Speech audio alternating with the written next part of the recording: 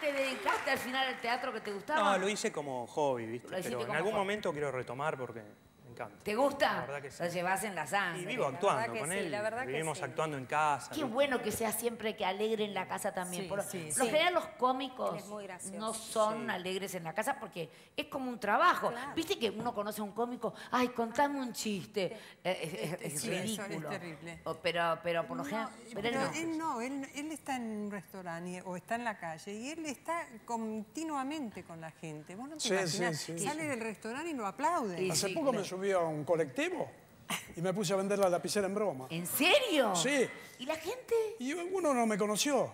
Y me hace así, le digo, a mí, sí. Voy, me dice, deme dos. ¡No! ¿Y qué le digo este rápido carbón? Me lo olvidé en mi casa. ¿Por qué no te vas a la...? ¡Qué No gracia! me conoció. Después me bajé, le habrán dicho, no lo conoce el señor, no sabe quién es. Ay, qué gracia. Pero sí. genial. ¿Y solito hiciste eso? Sí, ¿Eh? solo. ¿Solo hiciste eso? ¿Subiste solo? Sí, sí, sí, sí. A él se le ocurren Siempre lo hacía cosas, solo siempre. con la complicidad del colectivero. Ah, con el colectivo. Yo me elegía el que hacía mejor de partener, ¿viste? El que me hacía Claro. lucir más. Ay, me muero, pero me- yo me muero, yo la entiendo. Me a- moría de más. vergüenza, Sí. pero lo hacía, ¿viste? ¿En serio? Y si yo no subía al teatro en escena hasta los 30 años porque me daba vergüenza. ¿Eh? ¿Cuánta gente me decía, vení, yo te hago, soy amigo de fulano de tal?